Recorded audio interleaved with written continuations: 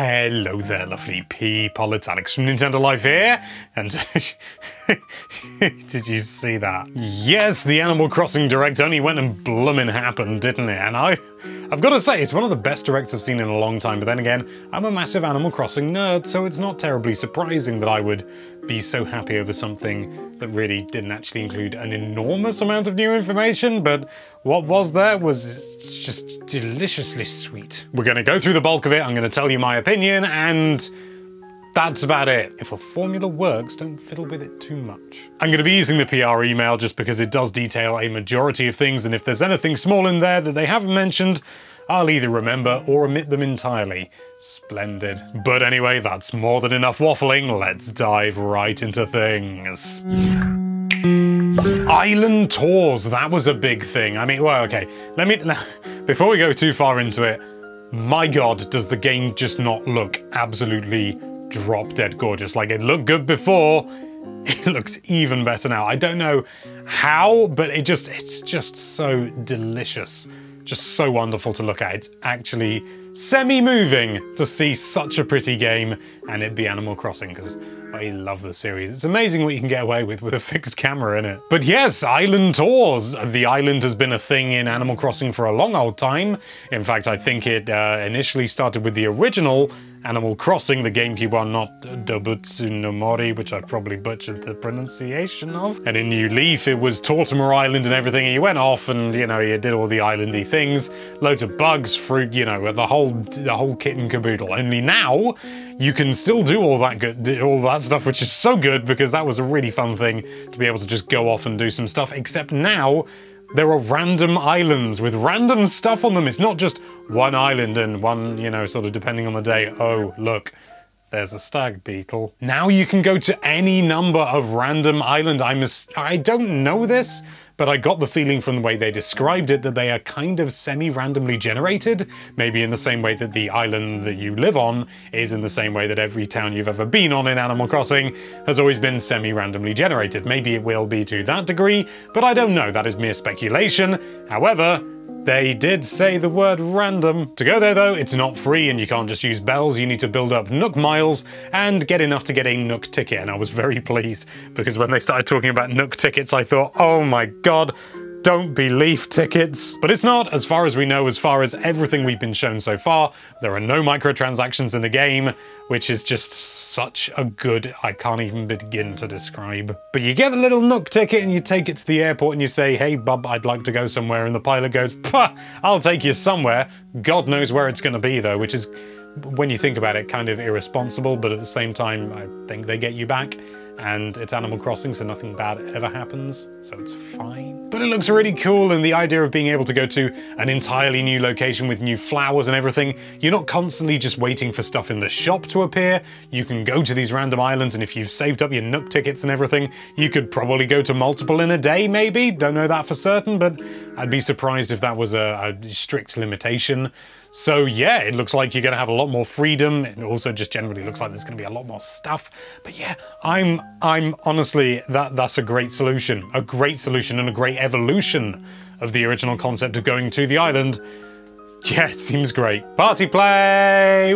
This wasn't really new, but it's the next item on the list. Eight people can live on one island. We kind of already knew that. One interesting thing that I don't think we knew, though, is that when you have other people who are not the leader, when they, uh, you know, grab fish or bugs or any items off the ground, they don't go into their own inventory and they don't go into yours.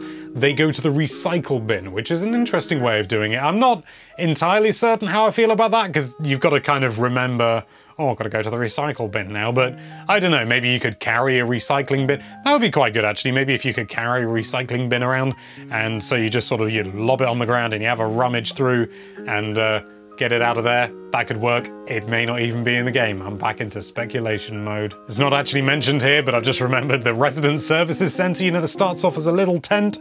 It eventually becomes a town hall. It's a very I, am I'm, I'm amazed I didn't see that coming, to be honest, because it's so obvious that, yeah, of course that little thing is going to eventually become the town hall.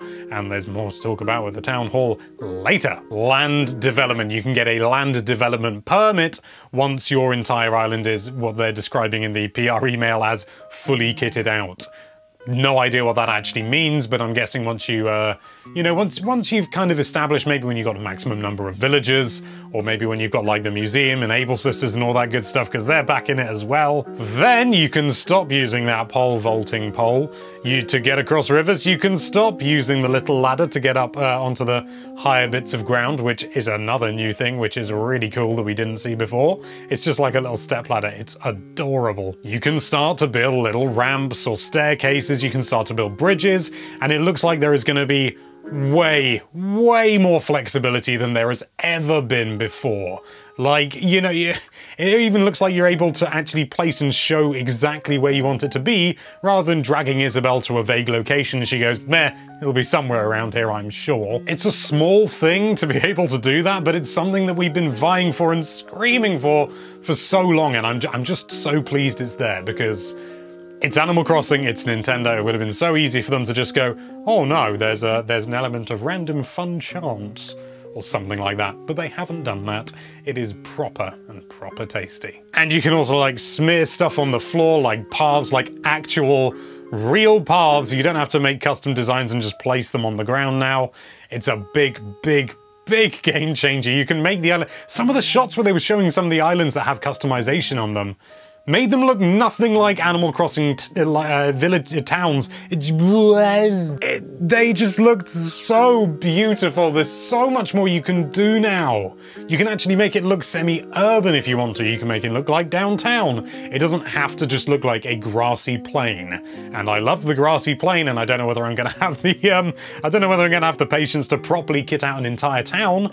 But you can have like a little sort of like a little corner that could be just like your shopping district and you have like the able sisters and you wanna, and you can place them wherever you want. Why? Oh, oh, I'm excited. And then the biggest part of it all, you're not just changing what gets placed on the ground, you can change the ground. You can actually like carve into the earth. You can make great big lakes. You can make rivers wider. You can make rivers disappear. You can raise land. You can lower land. It's you can make waterfalls. It's just, oh God, the possibilities. It's honestly looking like it's going to be one of the most solid and replayable life sims that certainly Nintendo has ever produced. But honestly, of all the ones I've ever seen, it's it's pretty up there. Like, it's seriously up there. Then there was Nooklink, which was the, um, well, the, the, the smartphone app, you know, yeah, the Nintendo Switch Online thing. And you know what? Actually looks like it's going to be fairly useful, which I didn't expect when it first came up. I was just like, ah, oh, Nintendo Switch Online app. It's going to be some sort of rudimentary weird system. But no, kind of like Smash Bros, kind of like Splatoon 2, there's actually stuff you can do. It doesn't, you know, it's kind of self-contained rather than having to constantly communicate with the game. You can do the usual stuff which you'd expect, like talk to people online with voice chat, but you can also do a really, really cool thing. You can scan QR codes, which have custom designs on them, because yeah, custom designs are back. I mean, we pretty much assumed they would be, but good to know they are. Scan a QR code, get a custom design so you can share it around the world if you want, and you can just inject stuff straight into your game. That's a great thing. What's even better is they still you can still use your old designs from things like um, Happy Home Designer and New Leaf, and they will still work in New Horizons, which for me, I never really made anything that significant. I made the Christmas jumper I wear with Sonic the Hedgehog on it. That was fun. But I know for a fact that there are a lot of people, probably watching this video in fact, who are have just sunk so many countless hours into the game and don't want to have to recreate all of their custom designs, you know, pathways and clothing and things like that.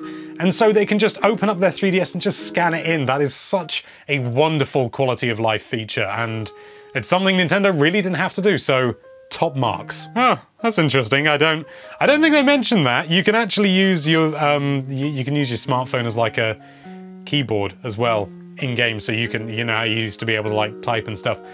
That's actually weird. That's actually weirdly useful as well. Again, something they really didn't have to include, and I don't know. Maybe for a lot of people it'll be, you know, something that they never use, but. That's kind of cool, actually. You don't have to use the voicey voice. You can just and send messages. You can send rude messages. Maybe you'd be able to do that. Oh, that'd be really cool if you could do that for like posting messages as well, telling villagers to, you know, fall down a well or whatever it is you want to do. But that's not confirmed. It's Alex's brain doing a wonder. Choose your island! Yes, you can choose your island just like previous games where you choose your town, like Rover will come up to you and go, Hey, is this the town you're going to? And you go, Nah, nah that river's in a stupid place. And he goes, my mistake, is it this one? And just cycles through, yeah. Basically, you get a choice of like four, and I'm assuming you can say it's none of these as well when you're sort of booking your your um, your your package holiday to this deserted island, and so you can, you know, you just got the choice there. It's really it's, it's good. It's just what we expected before, but it's a really nice way to include that. A really nice way to inject it and keep the whole theme going. They've clearly taken a lot of time and effort with this, and it really shows. That's also when you'll be asked whether you want to be in the northern or southern hemisphere. It seems like it's your choice. It, it doesn't matter you because you're going to an island. Doesn't matter. Maybe you want to. Maybe you live in the northern hemisphere. You want to go to the south, or vice versa. You can do that, and it does actually affect the seasons. So when when northern hemisphere is in spring, in southern hemisphere it'll be in autumn. I know we knew that before. Just want to be absolutely super crystal clear, and it's good. Ooh, I don't think that was mentioned in the um, direct. Or if it was, I missed it. Resident Services, the thing run by Tom Nook, you know, and all that, you know, where you can sell stuff as well with Timmy and Tommy there. Although you can also get Nook's Cranny, so I don't know, maybe one goes there and one stays in Resident Services. Who knows? But that is open 24 hours a day, seven days a week. And if you can indeed sell stuff at any time of day, that's a big deal for Animal Crossing, because a lot of the time, you just, you couldn't. I mean, I'm pretty sure retail closed. Yeah, retail definitely closed. I remember when I used to wake up early in the morning.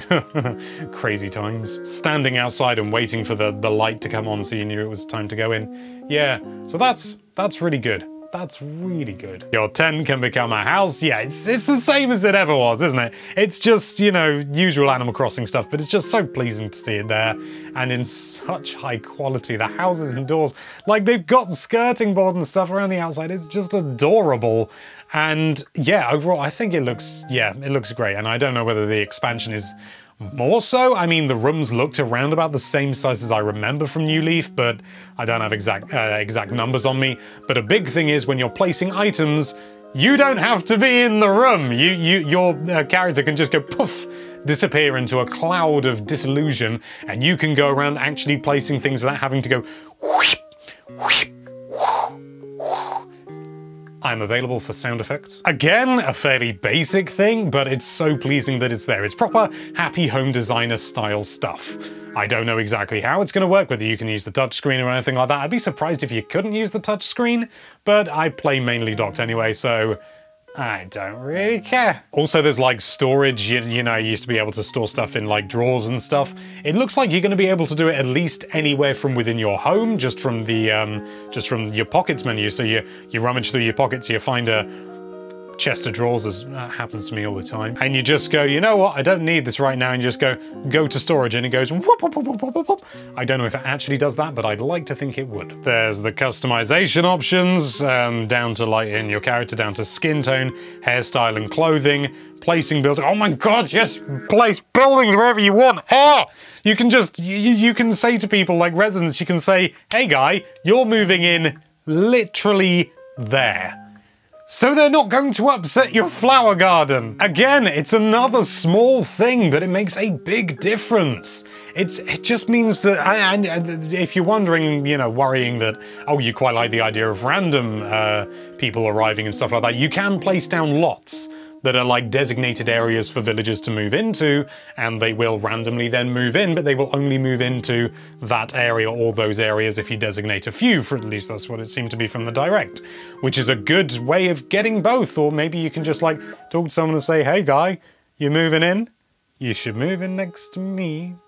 Actually, I'm not sure if I want the villagers living next to me. Big important thing, really, really pleased it's in there. Minor, of course, but so good. Then there's the airport. This is where you use the Nook tickets and your Nook, well, not your Nook miles, but your Nook tickets. And you fly to different islands and stuff like that. I also think that's where you go to go online, so it kind of replaces the train station, but also it appears to replace the post office as well. The post office did seem to not do an awful lot, and we won't be berated and told that we have several billion bells in our account when we really don't. So that's always good. Island-wide broadcasts as well, yeah. This is weird. Basically, Tom Nook at the at the start of every day stands at a microphone and goes, let the bodies hit the floor. Let the bodies hit the floor. He stands on the microphone and he he, he does some announcement. You know, like stuff that's going on today. Hey, today is uh, is uh, Egg Day or whatever it is. You know, any number of uh, special events that are going on. Maybe he announces the turnip prices as well. That'd be handy. I don't know. It just seemed to be an announcement. Everything that's new to this day, which is kind of cool. Maybe like when new residents arrive. Makes me think of like uh, Hi-de-Hi, if you know anything about that. Which, if you do. I'm not sure how I feel. Incidentally, I saw some people saying that uh, Egg Day is like, ah, oh no, you can't even call it Easter anymore. It, that's not why. They're making it international, and there's plenty of people in the world who don't celebrate Easter and wouldn't know what it was called. It's just Egg Day. Features and updates to further your island enjoyment. Ooh! New residents. You can get new residents just like all the previous games, but when you go to those islands, those mystery islands I mentioned before using your Nook tickets, you can go there and sometimes there'll be villagers there and they'll be like, hey guy, and you'll be like, wanna come live on my island? And they go, oh, all right then, and they come and live on your island. Uh, it's a cool way. It's a cool way to find more people. It's rather less of just a sort of a random chance. You can actively sort of increase your odds by going to different islands and stuff like that. I think I'm down with that. I think that's a really cool idea. Again, small, kind of makes me think a little bit of a pocket camp in the sense that you just go to these different places and oh, there's people and you can invite them along. That seemed to be more rigid. This seems more free flowing. Free updates as well. We're getting free updates. They, they just said, are there going to be free updates? Yes. And that was enough for me to go, we're getting free updates. They mentioned it for seasonal things like Egg Day and stuff like that. Is it actually called Egg Day? I'm, I'm, it's, is it here? It's not listed here. There's also like some fun interaction with like special items and stuff with uh, Pocket Camp. If you're into that, alluded to it slightly earlier, but yes, additional facilities, things like Able Sisters and Nook's Cranny and stuff, and the museum. I mean, the idea that they wouldn't have a museum is like insane, you know? I mean, there has to be a museum, but there's a museum, and it looks so, so bloody beautiful. I don't think any museum in any previous game, even stylized, has ever looked anywhere remotely this good. It's so pretty. I love it to death. I don't know if they're actually uh, mentioning it in here. No, they haven't. They haven't mentioned it in the PR. Naughty Nintendo. There is now fast travel to some description. I, we, we don't know exactly. They kind of glossed over it a little bit. Certainly it seems like they said if you're lost, you can make your way back. I'm guessing maybe Maybe if you like had had like a, a pole or something, like a vaulting pole, and you needed that because oh my god, you can jump! You can jump over a little square of water, and it makes me weirdly happy. But say you've pole vaulted over something, and then you you you drop your pole or something, or you you you know I don't know any number of things. You you lose your pole somehow. I'm guessing you can be taken back. It's like emergency services, and it sounds an awful lot like Mr. Resetti back there. It'd be really interesting to see if we can fast travel to things like, uh, you know, like the museum and stuff like that to save a little bit of time. Maybe fast travel to the airport. That could be, that would be really cool, actually. Um, although th that's what I assumed it was, but now that I thought about it again, it did sort of seem to only just take them to your house, so I don't exactly know how that's going to happen. But either way, it's definitely something, and um, I would I, I would like to be able to go to other places as well, but who knows? There's also the other usual stuff like the fishing tourney and the, the, the bug off and all that good stuff, which have new people for some reason. Um, it's the, instead of Chip, it's Chip Ju well CJ, which I'm assuming is Chip Junior. And you got oh, I can't remember her name, but she's adorable, little little tiny Joan, little little bitty Joan. And she's adorable and she sells turnips now. I don't know what's happened to the older ones. They've gone off somewhere. Also, new um, uh, bug catching dude. Can't remember his name, but he looks punky as hell and I like it. Amiibo support, yeah, it's um, it's Amiibo. It, it seems to be very similar to how it was in uh, New Leaf Welcome Amiibo. So yeah, not, not terribly surprising, like you can invite people to the campground and stuff like that.